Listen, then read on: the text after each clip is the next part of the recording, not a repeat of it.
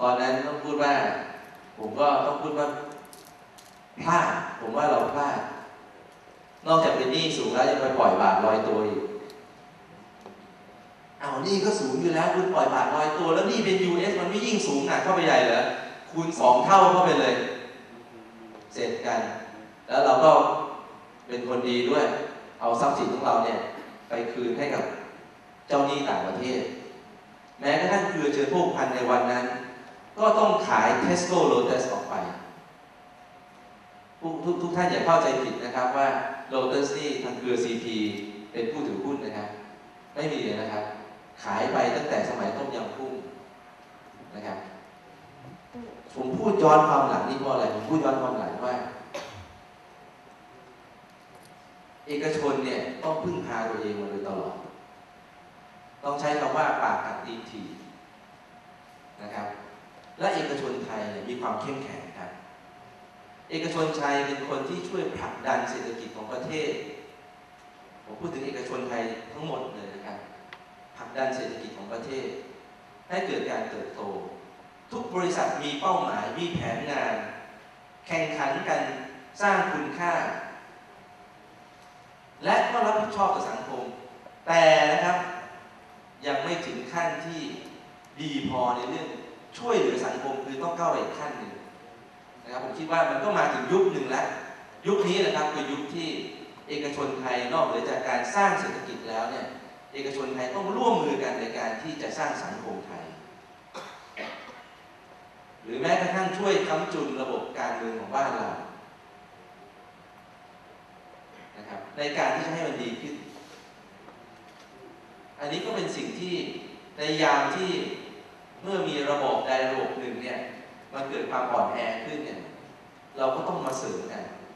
เพราะฉะนั้นอย่างท่านดุสิตเนี่ยนะครับเป็นประธานของการค้าไทยเนี่ยนะครับ ก็เป็นผู้นำเอกชนอยู่แล้วนะครับ ผมก็คิดว่าบทบาทเอกชนเนี่ยก็จะสูงขึ้นเรื่อยๆครับเวลาผมคงเอาเท่านี้ก่อนนะครับครับขอบคุณครับ จริงๆก็กำลังฟังเพลินเลยนะคะจริงๆคุณสุภชัยเพิ่งโดนมาหมาดๆ ผลกระทบทางการเมืองหลายท่านคงจะเห็นข่าวน้องมาร์คใช่ไหมคะผู้สื่อข่าวก็ต่อคอยถามน้องมาร์คตลอดความขัดแย้งที่มีในระดับชาติลงมาถึงเวทีนี้ด้วย จริงๆแล้วสงสารเด็กนะครับผมคิดว่าความขัดแย้งทางการเมืองมันกระทบกับความคิดของคนรุ่นใหม่ เราจะไปบอกว่าเขาคิดผิดหรือเขาคิดถูกแล้วก็พราะดูผู้ใหญ่ รับตรงนี้ก็เป็นเป็นสิ่งที่สำคัญนะครับว่า แล้วผู้ใหญ่เราแสดงความรับผิดชอบ แล้วก็พยายามจับมือกันมากน้อยแค่ไหนถ้าเกิดว่าต่อไปเนี่ยครับ บ้านหนึ่งคือดูดูทีวีสีแดง บ้านหนึ่งดูทีวีสีเหลืองผ่านไปสามปี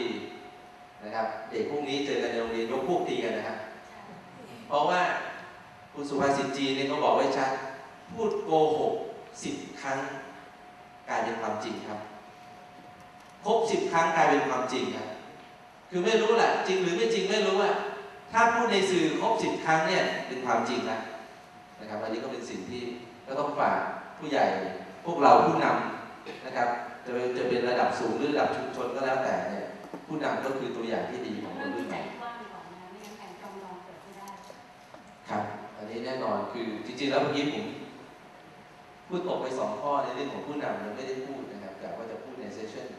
ในในเราคุยกันในเซสชั่นต่อไปเดี๋ยวคุยกันต่อว่าเออผมมุมมองผมในเรื่องผู้นำนอกจากเรื่องวิสัยทัศน์คืออะไรวันนี้อึดอัดจริงๆอ่าครับอ่าครับแล้วเรามาว่ากันต่อนะคะเราจะขออนุญาตข้ามมาที่คุณธีรพงศ์ที่ไปทำความสำเร็จให้กับบริษัทมาอย่างใหญ่โตแล้วก็จริงๆเนี่ยมีส่วนที่เสริมสร้างความเข้มแข็งให้กับเศรษฐกิจไทยมาช้านานแต่ว่าคุณธีรพ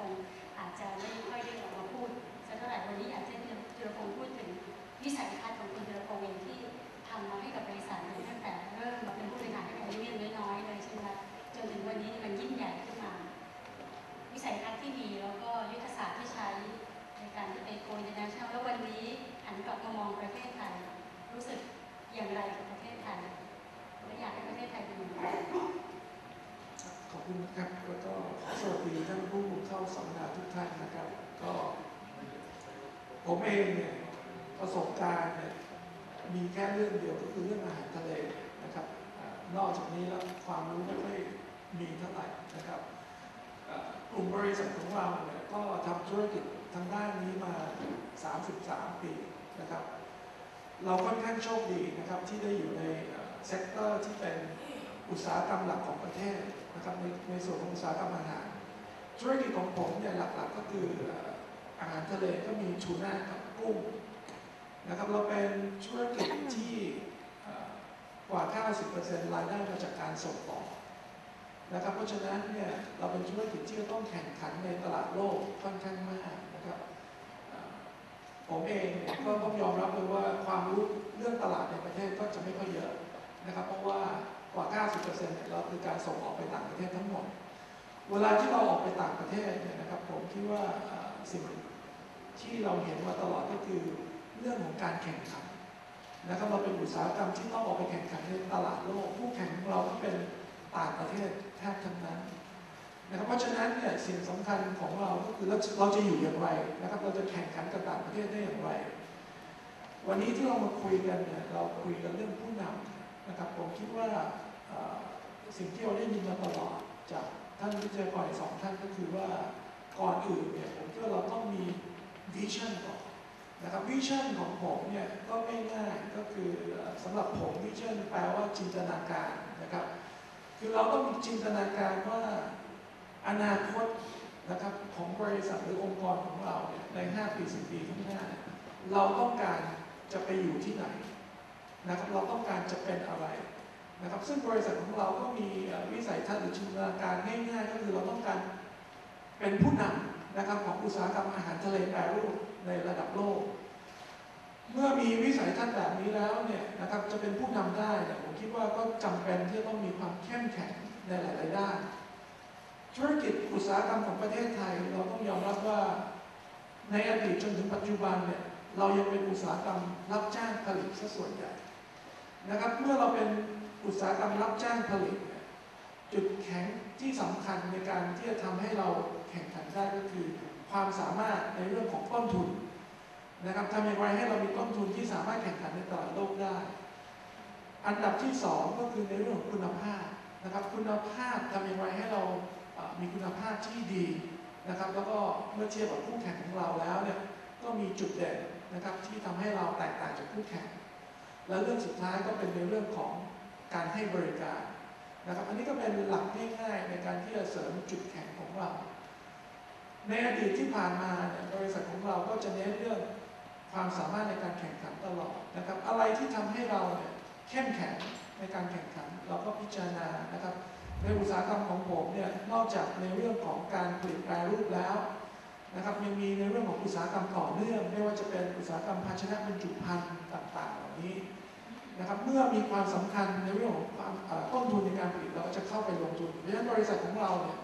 นอกจากจะมีโรงงานแปรรูปแล้วยังมีโรงงานที่ผลิตกระป๋องก็ดี เรามีโรงพิมพ์ในเรื่องของฉลากก็ดี อันนี้ก็ทำให้เราเกิดความแข็งแกร่งมาถึง 10 ปีที่ผ่านมาเนี่ยนะครับ ก็ผมคิดว่าท่านผู้ประกอบการก็คงจะได้ยินตลอดว่า สิ่งที่ประเทศไทยเราหรือผู้ประกอบการเราขาดก็คือในเรื่องของแบรนด์ในเรื่องของช่องทางการจัดจำหน่ายหรือ distribution นะครับสิ่งนี้ก็คือสิ่งที่บริษัทเนี่ย ให้ความสำคัญมาตลอดในช่วง 10 ปีที่ผ่านมานะครับใน 13 ปีที่แล้วบริษัทก็ได้มีโอกาสนะครับได้เข้าไปลงทุนซื้ออเครื่องหมายการค้านะครับชื่อ Chicken of the Sea ในอเมริกา ซึ่งเป็นอันดับ 3 ในอเมริกา ซึ่งจุดนี้เนี่ยก็จะทำให้ธุรกิจของเราเนี่ยก็เข้มแข็งมากยิ่งขึ้น นอกเหนือจากการที่ต้องรับจ้างผลิตอย่างเดียว การที่เรารับจ้างผลิตเนี่ยเราไม่รู้อนาคตของเรานะครับ เพราะว่าผู้ซื้อเนี่ย สามารถที่จะเคลื่อนย้ายไปได้ตลอด ถ้ามีที่ไหนที่ดีกว่าและถูกกว่า เมื่อเราสามารถมีเครื่องหมายการค้าของเรา ก็ทำให้ธุรกิจของเรามั่นคงขึ้น เราสามารถกำหนดแผนกำหนดชีวิตของเราได้มากยิ่งขึ้นนะครับเมื่อ 10 กว่าปีที่ผ่านมาเราก็ได้มีโอกาสที่จะพัฒนานะครับไม่ว่าจะเป็นบุคลากรของเรานะครับการบริหารจัดการของเรา ให้ดีมากยิ่งขึ้นต้องยอมรับว่าการเป็นบริษัทคนไทยนะครับ เมื่อออกไปสู่ต่างประเทศ โดยเฉพาะต้องไปบริหารจัดการในต่างประเทศก็มีความท้าทาย